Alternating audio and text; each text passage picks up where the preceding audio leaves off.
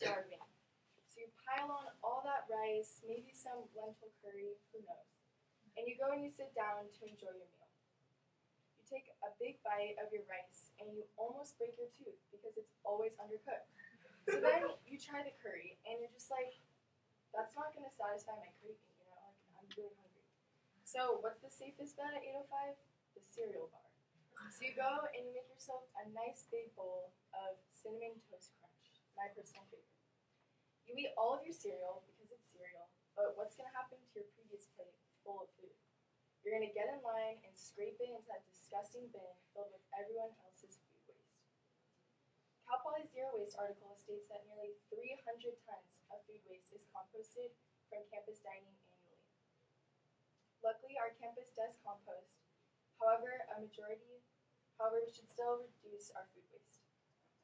Today, I'm going to be talking about food waste and its impact on overall water consumption. Then, I'm going to be giving a couple solutions to this problem. According to the USDA's Economic Research Service, 40% of food is wasted in the US. 40%. Living in California, we have been suffering from this extreme drought for years. To spread awareness, Certain cities have even put up posters giving suggestions on how to use water more sustainably. Maybe take a five minute shower or turn the faucet off while you're brushing your teeth. But one solution that is often overlooked is reducing your food waste. According to the 2018 article, Food's Big Water Footprint, in the US, agriculture is responsible for 80% of all fresh water used. Basically, food requires a lot of water. When you waste your food, you're also wasting water, and water is extremely precious. Out of the total amount of water used for agriculture, 21% of fresh water is used on food that is later discarded. Unfortunately, most of this discarded food was also grown in California, which does not help our current water situation. I have personally witnessed the devastating amounts of food we waste every day. My friends and I like to go to our local Whole Foods late at night and rescue as much food as we can. We call this zoodling. We go really late and we try to rescue as much food as we can, but there's so much food that we can't even eat all of it or share all of it. It's insane. So here's some pictures of the food that we rescued. And this is only two hauls, but basically boxes and boxes just like these are left out every single night at just one Whole Foods. So there's so many apples and all these delicious bananas for smoothies and even coconuts, fresh juices, and it's all nutritious and edible. So why is it being sent to the landfill? It's crazy. A couple other solutions to this problem include buying imperfect produce and recycling your foods. Buying imperfect produce has almost become like indie in a way because of the advertising through social media. The Instagram account, Instagram account Imperfect Produce has 154,000 followers, and this is a business that takes imperfect produce and delivers it straight to your door.